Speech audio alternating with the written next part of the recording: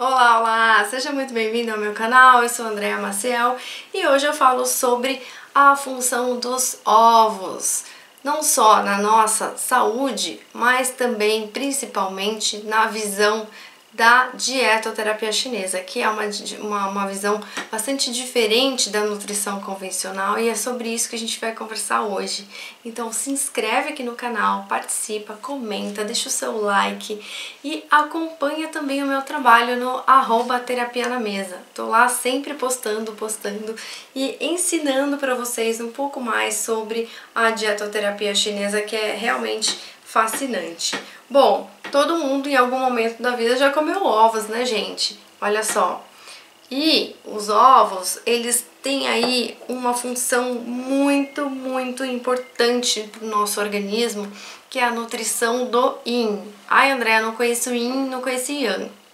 Vamos lá recapitular novamente. Então, enquanto Yang, né, alimentos Yang estimulam as nossas funções orgânicas, o alimento Yin, ele ajuda na nutrição do nosso organismo. Então, ele vai nutrir, vai promover sangue, e esse sangue, né, é uma substância altamente importante para o nosso organismo, vai nos deixar mais fortalecido.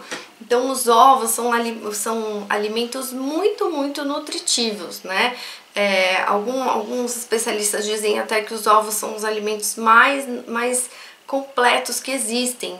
Não tenho dúvidas, né? Nos ovos a gente encontra proteína, a gente encontra diversos tipos de minerais, quase todos praticamente, né? Quase, porque existem muitos minerais, mas quase mesmo, assim, porque, nossa, tem muita coisa, muita coisa.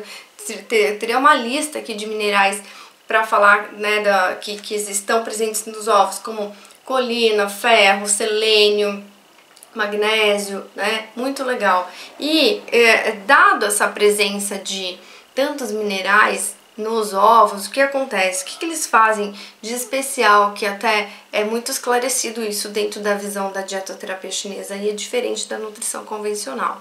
Os ovos aquietam a nossa mente e eles trazem paz de espírito.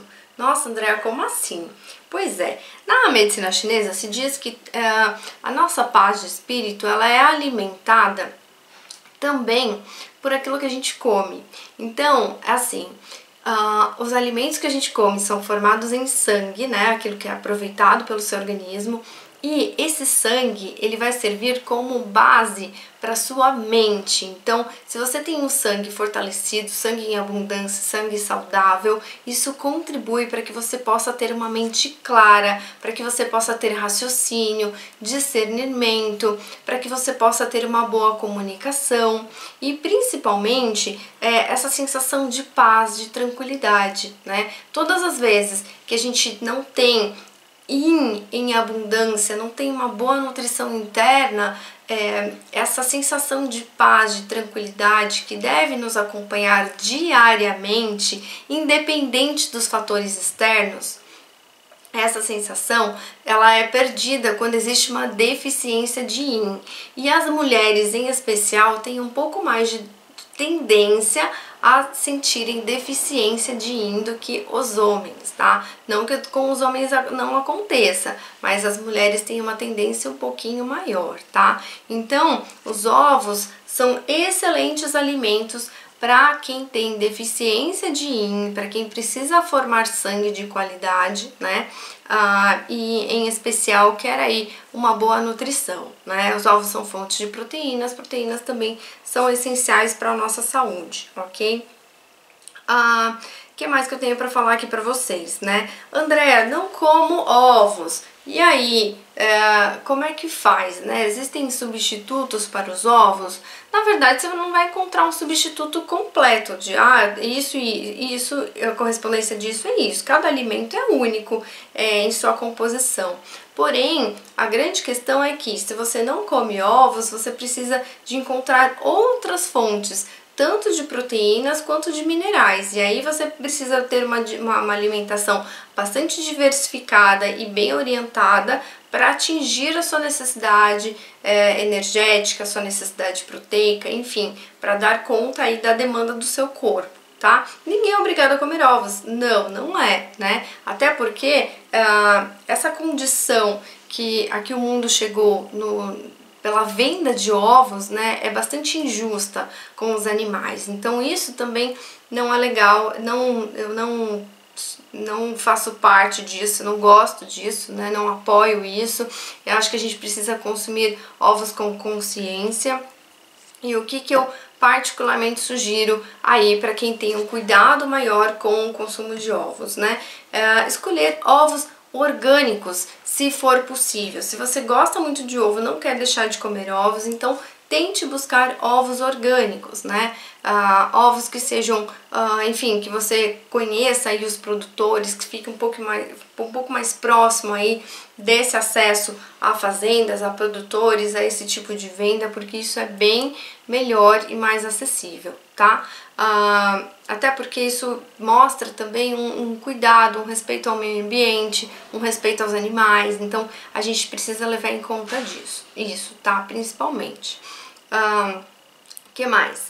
Ah, na China também se consome vários tipos de ovos, né? particularmente ovos de pata, por exemplo, que explicam que é muito, muito nutritivo, e também em especial os ovos de codorna. Não tem ovo de codorna aqui para mostrar, mas acho que todo mundo conhece, o ovo de codorna é geralmente menorzinho, tá?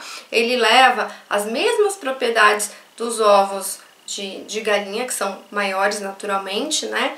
E o que é importante também a gente olhar é que uh, os ovos de codorna, eles são bastante concentrados, então eles ajudam também na nutrição do rim dos rins. Por que eu estou falando dos rins, né? Porque assim, os rins abrigam a nossa essência. Lembra que eu já conversei aqui com vocês, essa essência chamada de Jing.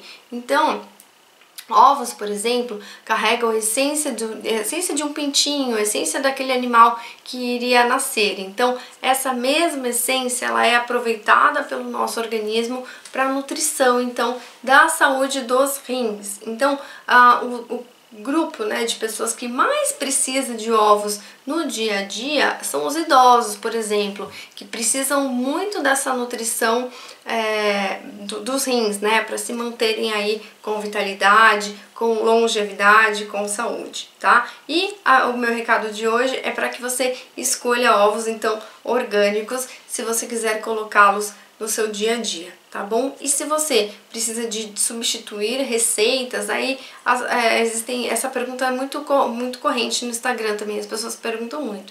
É, duas questões. Ah, como que eu posso substituir os ovos nas, nas, receitas?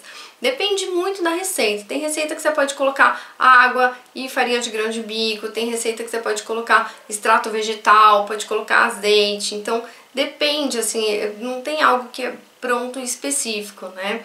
Mas você pode é, é, adaptar todas as receitas.